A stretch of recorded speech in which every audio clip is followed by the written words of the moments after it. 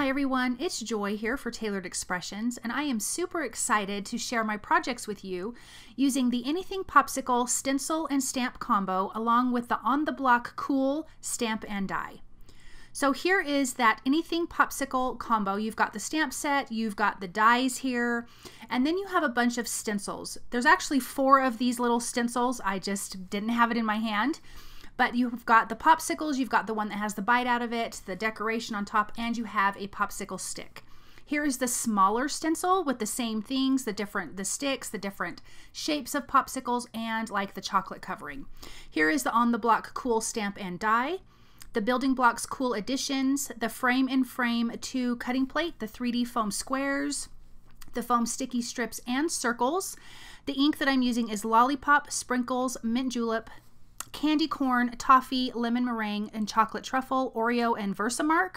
White embossing powder, my glue, my powder tool, my uh, acrylic block, and blender brushes. I'm also using some acetate and some colored cardstock. So here I'm starting with a piece of sugar cube cardstock and here is that smaller popsicle stencil. And so I am starting with lollipop ink and I'm just using my blender brush and I am just going to ink up a ton of these lollipops. I'm doing a lot of colors. I really wanted to give the feel of summer.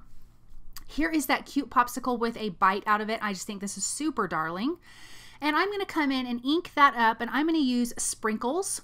I'm also using Lollipop cardstock, Sprinkles Part cardstock, and Lemon Meringue cardstock for these projects.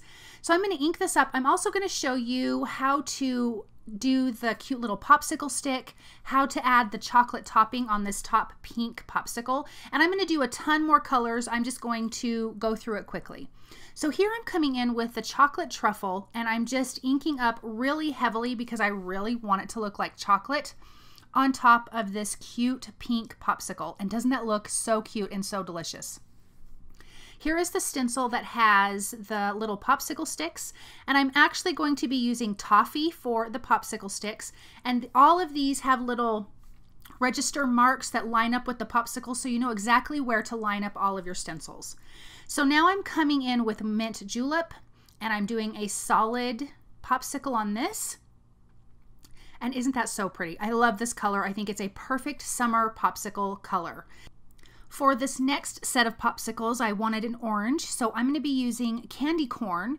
I'm also going to be doing a lemon meringue as well. I really, like I said before, wanted this to feel very summer-like and really have a ton of fun, fun colors.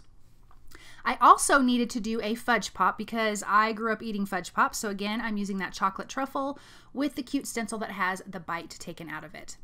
So now that all of the stenciling is done, I'm coming in with that little coordinating stamp and I'm just stamping up using the same color. So here is the lemon meringue stenciling and I'm now stamping the lemon meringue ink with those cute little lines that you always find on your popsicle. So I'm going to do that for all of my popsicles. Isn't that darling? And then I'm going to use the coordinating die. And I love that you get so many popsicles out of this stencil and this die. And I have a ton of popsicles.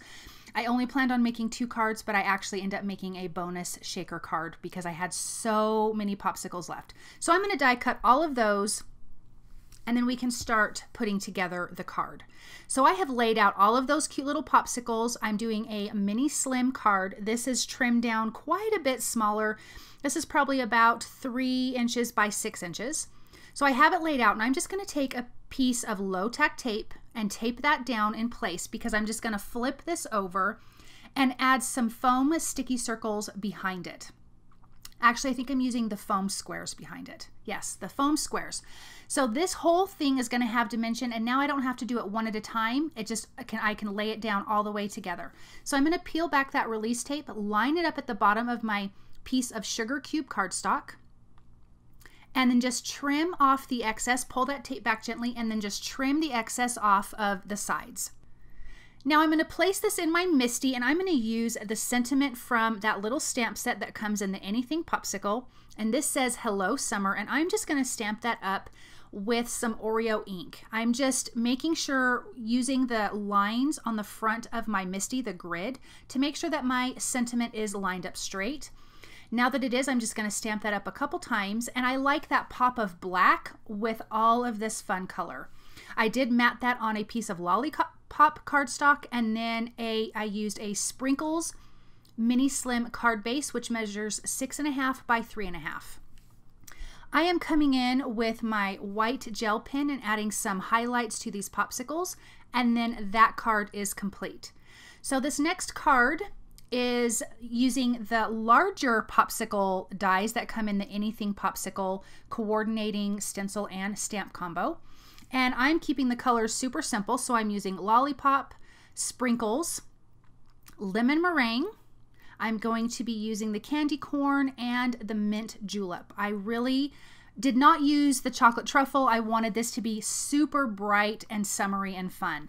So I'm just going through and doing all of my stenciling, cleaning my stencil in between just really quickly and getting all of my popsicles down. Then I'm going to come in and use the same toffee ink for the little popsicle sticks. And as you can see here, this is how this little stencil just lines right up. Again, there's little registration marks that line up with your popsicle. Makes this super easy to stencil these all really, really quickly. Now I'm going to use the same stamp set and stamp those cute little lines in my popsicles with each of the colors. And so all of these popsicles are going to have that, which I think just adds a ton of cute detail and brings these popsicles to life and almost gives it that 3D effect. I will be using the coordinating dies. This larger die has that cute bite cut out, which I think is really super cute. So after I die cut all of these images, we're going to add some sprinkles from that stamp set. So I'm using some Versamark ink and just adding sprinkles to the three complete popsicles, not the ones with the bites out of it. I'm going to sprinkle on some white embossing powder and then just heat that through until it's nice and melted and that's going to add some extra fun little detail.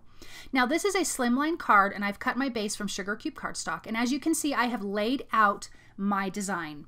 Now I'm coming in with the die cuts and I'm going to die cut out the popsicle holes if you will from this card panel because we will be inlaying all of these popsicles into our design.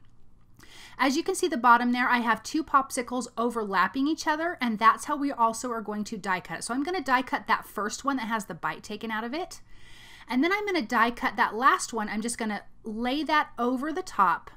And once everything is cut out and we inlay all of the popsicles, the whole design is going to come together and be super cute. So now first I'm going to stamp my sentiment. This is the On the Block Cool stamp set. And I'm using three colors. I am using Lollipop, Sprinkles, Mint Julep, and Lemon Meringue. And as you can see there, I'm just adding a little bit of color to just sections of the stamp set. And I inked it up one time. I'm going to ink it up a second time. And that's going to give a nice, good, cohesive transition between all of the colors. I'm going to use the coordinating die to cut that out. I'm going to tape that in place and just run that through my die cut machine. So now I've got the foam sticky circles behind our die cut panel. I have a lemon meringue slimline card base that measures eight and a half by three and a half. And I have, I have that adhered down. And now we're just going to inlay all of these popsicles. And this turned out so super cute. So it's like this reverse dimension, if that makes sense. But as you can see the bottom there, how they overlap each other and it works out just fine. So I'm just using a little bit of tape runner to adhere that down. You could use liquid glue. That would work perfectly as well. Now this is the Building Blocks Cool Additions stamp set. And so I'm going to stamp that up. It has a ton of sentiments and this card is going to say you're super cool. So I'm going to ink that up with Oreo ink and then just trim these out. This does have a coordinating die. I did not have it on me on hand, so I just used my paper trimmer to trim it out. I'm going to adhere that down and then we're going to add some foam tape, some foam squares behind the word cool and just adhere that to the front of this card. And this one is done. So now onto this bonus card, I am using the Frame in Frame 2 cutting plate. And I actually die cut that from Mint Julep, but I do end up changing it. I it, am adhering down a piece of acetate and trimming off the excess because we are going to make a shaker card with all of those leftover popsicles that we stenciled at the beginning of this.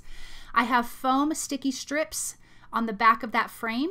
I have a piece of sugar cube cardstock trimmed down to that same size. I'm going to add those popsicles inside, take off my release paper from that frame and adhere it down.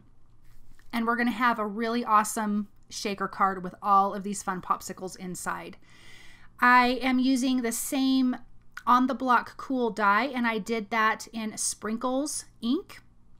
And I did die cut a Sprinkles cardstock frame. As you can see, that looks different here. I changed that out and just adhered that down. And the sentiments here says have a birthday. So it's have a cool birthday. And I'm just going to adhere that all to the front of that acetate card. And look at how cute with this little popsicles inside and the beautiful lollipop card base. And then we've got our mini slim card here that we did at the beginning and our slimline card.